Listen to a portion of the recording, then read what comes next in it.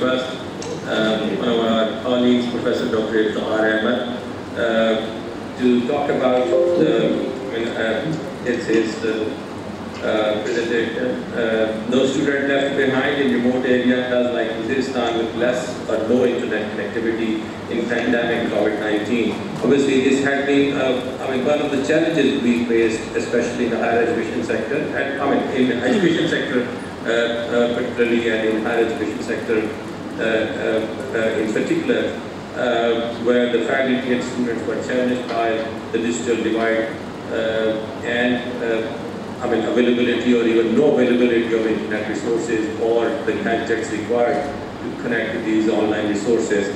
So we, I, we would be really looking forward to uh, his valuable thoughts and comments on this topic. Professor Dr. Iftikhar Ahmed. sir.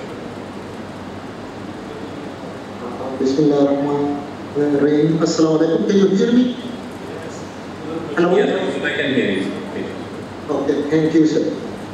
Uh, first of all, I'm very thankful to Shinwari Saab and the organizer for organizer for organizing such a wonderful activity.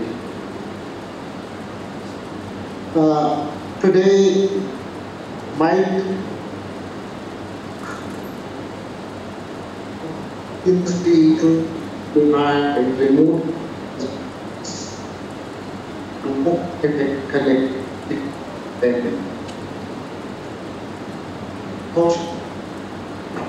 is, is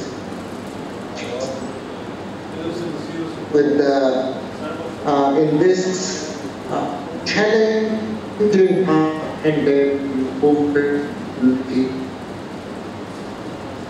is what we have seen, what we have observed. Uh, so I'm going to talk about that. And then I'm going to also talk about that, what, that, what happened, how we cope with the situation.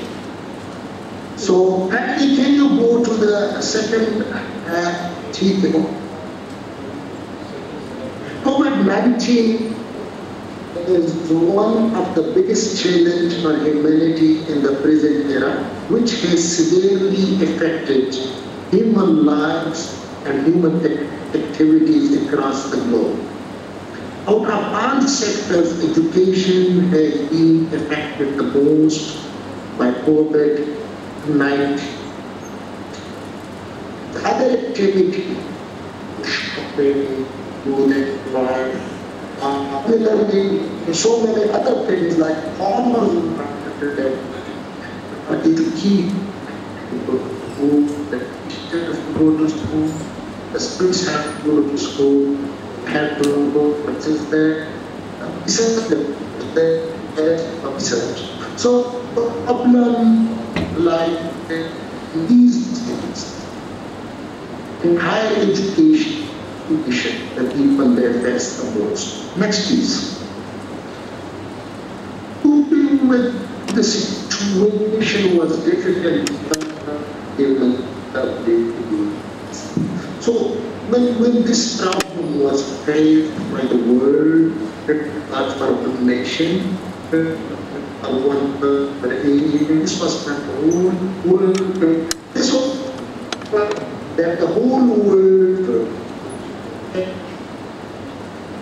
developing world, the world, up to these days and with these problems. However, good resources provide better opportunity to the developed world to handle the situation better than the developing world. So the developing world has problems. Still we are having problems. And that's why the developed suffered, but again, they, they knew how to handle with the new situation. So even in the crisis, they, they did something. But in those crises, the developing world, everything, it was just fruit. Next please. Response to COVID in Pakistan and other developing countries like Pakistan is not the same in urban and rural areas and hence a uniform solution uh, which cannot resolve the issue. This is the main problem. Like I was in USA, so for the US, you are in a small town, you are in a big town, are in a big, you have the of issue. If you go, who resource and so resources different, then the so any at moment like for me, I'm working human industry is a good example to respond. Like I talked about the internet connectivity in the development state. But for us, it's the, it was and it is still the biggest issue because in some some areas don't have connectivity. In some areas, connectivity is very bad. It's very bad. Uh, here, this uh, and, this slide, the Gomal University student population. Next, please. Hello. Gomal University student population. I think you are going faster than me. Can you go back?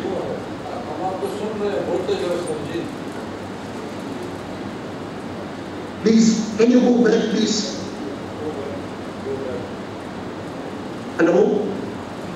Can you hear me? Yes. Because you, can you go back to the slide Gomal University student population? Gomal University student population. Can you go back, back one more? On screen. Yes, this one, this one, this one. So here, like uh, when we talk about University, that is a kind of uh, our name, or this is an example for us. So let's talk about the student population at home Gomal University. Gomal University is an international. Islamic University. So uh, we have uh, a huge years. Years, people from from And then we come to the people from rural areas of Dera Ismail Khan, South Waziristan, Waziristan, Akkar, Ijiham, Lekki, and all those rural areas. Next, please. Next, please see the urban areas. The urban areas, can you go back? I think you are, there is some problem in centralization. education. Uh, anyway, uh, one, one way, can you go one way? Yeah, maybe one way. One slide way. Which way one slide way?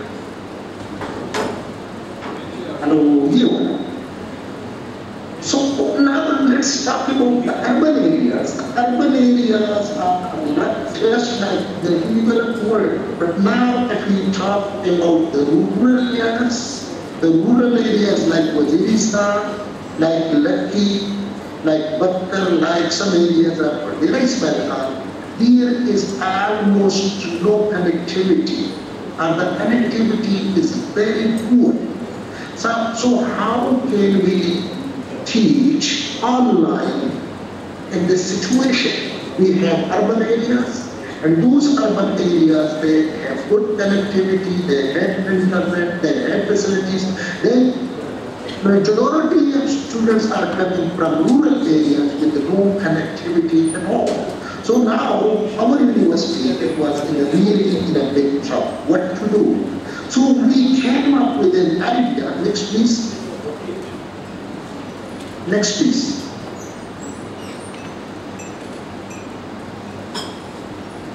Okay, treating students of rural, rural and urban with the same yardstick in the online teaching is not just and not fair.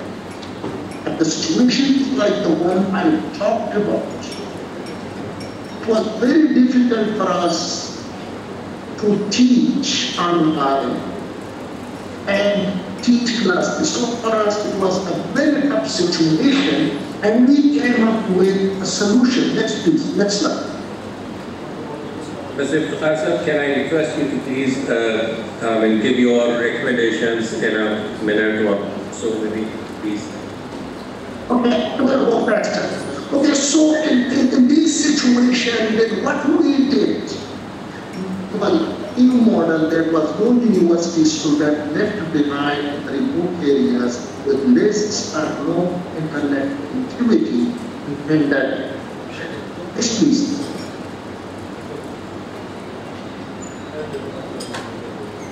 Next please. The, the main features of the model was each should be based on a textbook of students.